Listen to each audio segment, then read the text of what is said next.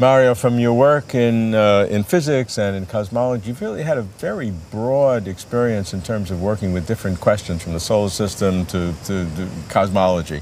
Uh, from that perspective, what, what, what's your view about life in the cosmos in general? And we have two categories. One is any kind of life, maybe three categories. One is any kind of life that we don't even can't even imagine. Second category is just any kind of simple carbon-based life or something that was uh, similar, that's similar to us. And the third category is sentient life that has awareness, uh, similar to what we have. Uh, what, what have we learned and what do you infer from that? So maybe the first thing that we have learned and which is extremely important is that we discovered that even if you look just at the Milky Way galaxy, and I'm not speaking now, you know, about the universe at large, but even just our Milky Way galaxy, there are billions and billions of planets that are roughly like Earth, maybe not exactly like Earth, which are orbiting their star in that Goldilocks zone, which we call the habitable zone, namely that zone which is not too hot, not too cold, so that it allows for liquid water, liquid water to be on the surface of a planet. So that is very, very important. that's a fantastic discovery because just just a few years ago, people had thought that that might be a rare occurrence. Well, we had no idea, in fact. Until 1995, yeah, yeah. we have not known of a single planet orbiting a uh-huh. normal star outside the solar system. Amazing. Yes. Uh, in 92, we discovered planets around the pulsar, but there is no life there yeah. for sure. But you know, around the normal star, only 1995. So you know, it's just a little over two decades yeah. ago. So so this is an incredible discovery. Not only that, we have now advanced to the point where within two to three decades, I believe, we will be able to characterize the atmospheres of some of these planets. Through transit. Uh, the for example, through transits when you know they go in front of their star. And the, the starlight goes through the atmosphere, however small, and you can get a spectrograph. That's right. So you can get a spectrum. You can find which, what is the composition of that mm. atmosphere, but also to image those planets. Mm.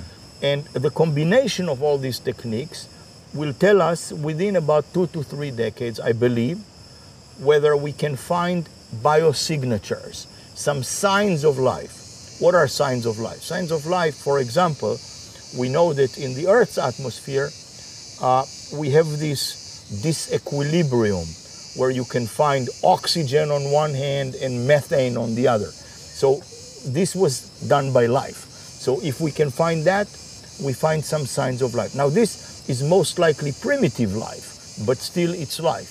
So, so that's a very, very important thing.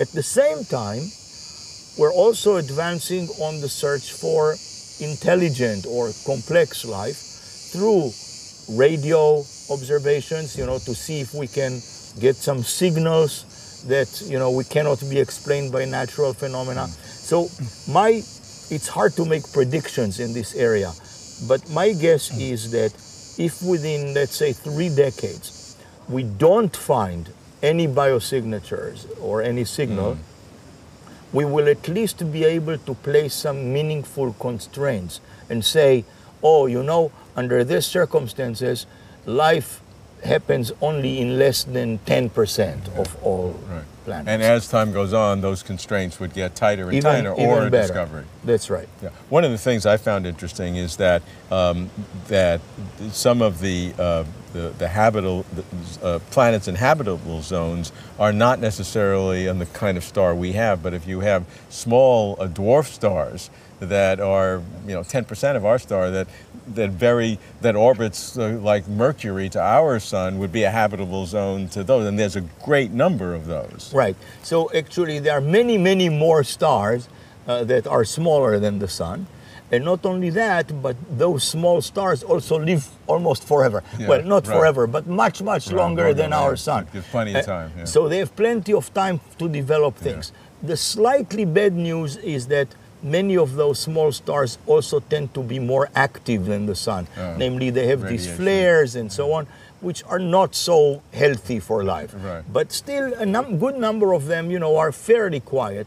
So th- they would actually be probably the first targets to try to, you know, uh, Oh. characterize these atmospheres. And, Yeah and the first target's because uh, they because you long life. It's uh, well because they're also easier to detect, as you pointed Yeah. out. The habitable zone is much closer, Yeah, right. so you can find planets, you know, much more easily, and also they have much less less luminous. So the contrast between the Oh, light of the star and you know the reflected light from Yeah. the planet is Yeah. is much And, and the ease is a very important point because if they're closer, it's a habitable zone, but being closer, you can find them quicker because you need multiple Exactly rotations. right. And so if it's far out, you have to wait exa- 100 years, years, yeah, or that's for right. a far out planet, but if it's close, you might be able That's to find right. it in months. So they are much easier to detect, and uh, there are many more of them. So, So, so if we have billions of planets in the habitable zone in the Milky Way, uh, and the Milky Way is one of two trillion galaxies, I mean, the, the, the, the probability of life seems just incredibly high, and then you hit directly the Fermi paradox. If all this opportunity and all these planets and, and all the time, we have you know almost 14 billion years of time, which is plenty of time, yet we don't find anything so far. Well, when we say we don't find anything, we didn't really have the uh, tools to find things, you know, until not that long ago. Hmm. So the question is, you know, you more have to ask why didn't they find us and, and things of that nature. There are hundreds of e- possible explanations to the Fermi paradox, and I would not even try, you know, to, to give you, you know, but, you know, it's very possible. Well, it's, first of all, it's very possible that in our own Milky Way that life is still relatively rare, so there aren't very many advanced civilizations. But even without that, imagine that there is a civilization out there, a civilization out there which is very intelligent. By that I mean they are more advanced than us by a billion years. They could think that you know we're like microbes for them. So they know about us. They know we know there are those microbes out there, but you know we're not interested in them mm-hmm. at all. Nor are we interested in make ourselves known to them. Uh, you know what are we? What communication do we have with the microbes of our world?